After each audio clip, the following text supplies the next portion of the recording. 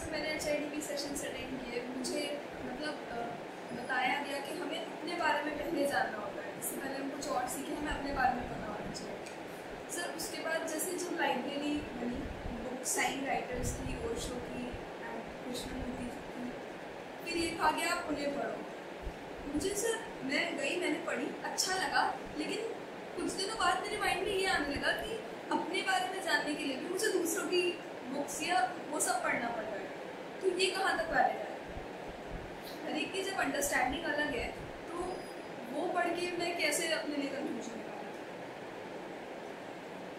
क्योंकि ये कमरा है हम्म? वहाँ बिल्कुल अंधेरा रहे हम्म? तो मैं बाहर से आया। तो इतना तो मैं कर सकता हूँ ना तुम्हारे लिए कि हाँ रोशनी जला दूँ? इतना कर सकता हूँ कि नहीं कर सकता हूँ? देखेगा लेकिन कौन? देखेगा कौन?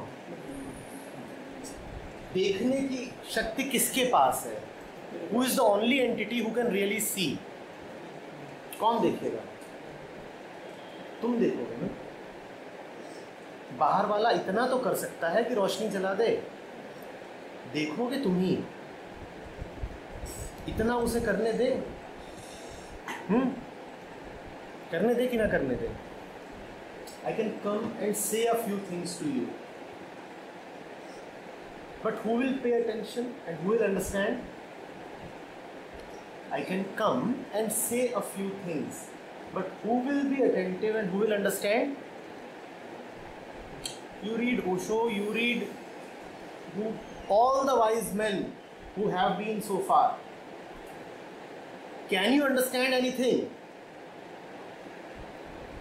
If you are not attentive, can you understand anything? Hmm? उनका कहना भी तुम्हारे समझने पर निर्भर है। समझ तुम्हारी ही होती है।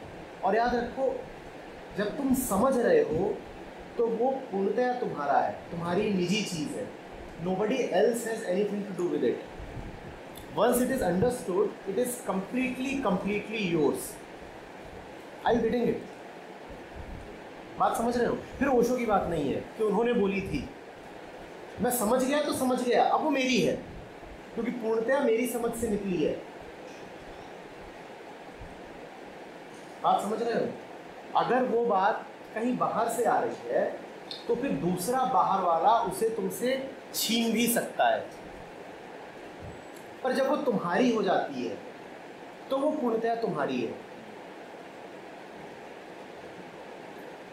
I put it anywhere conditioning कहाँ से आई सारी? बाहर से आई? Conditioning is layers upon the understanding layers of rubbish that come from outside and of first your understanding ठीक है? करेक्ट इतना तो कोई कर सकता है कि उन लेयर्स को हटाने में मदद कर दे। बाहर से ही आई थी। कोई बाहर वाला इतना तो कर सकता है कि नहीं कर सकता है? समझ रहे हो? हम्म समझ रहे हो? तुमने बहुत सारे चश्मे लगा रखे हो आँखों पर। Ideology family society religion education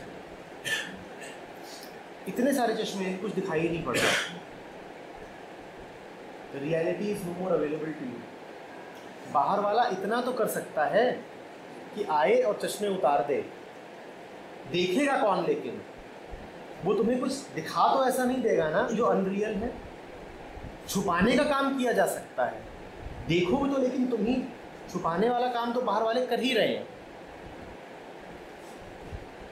बात समझ रहे हो? इसीलिए शुरू में ऐसा हो सकता है कि तुमको किसी के शब्दों पर ध्यान देना पड़े। To know yourself to know life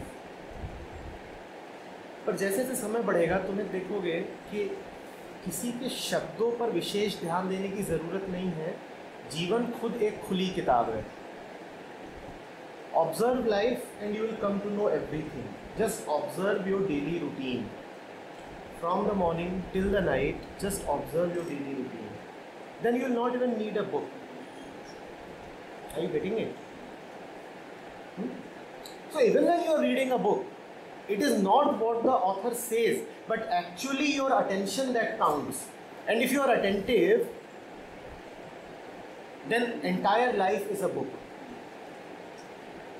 Are you getting it? Provided you are attentive.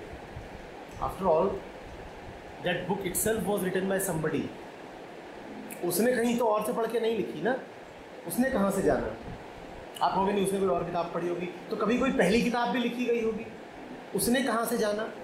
आप क्यों नहीं वो हो सकते जो वो पहली किताब लिखे?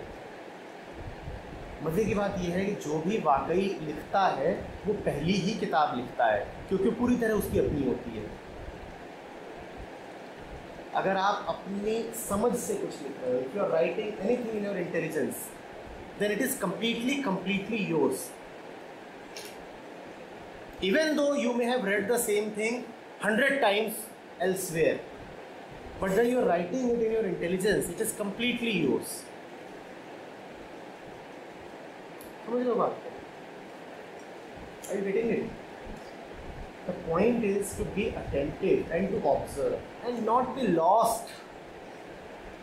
If you are lost, then nothing can help you. Nothing at all can help you.